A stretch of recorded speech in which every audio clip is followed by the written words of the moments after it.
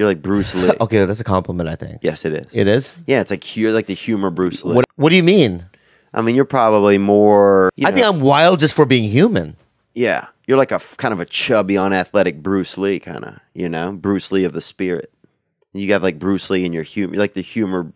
You're like Chun Li's kind of. Like, yeah, but what I'm saying though is is that yeah, uh, that's the one stereotype that we have Mm-hmm. that we just need to get we need to bust out of that. yeah. That's right. what- you guys got to get fucking aggressive.